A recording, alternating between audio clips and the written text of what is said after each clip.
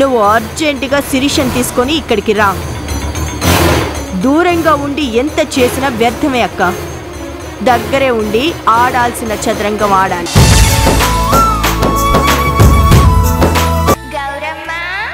సోమవారం నుండి శనివారం వరకు మధ్యాహ్నం ఒంటి గంట ముప్పై నిమిషాలకు మీ ఈటీవీలో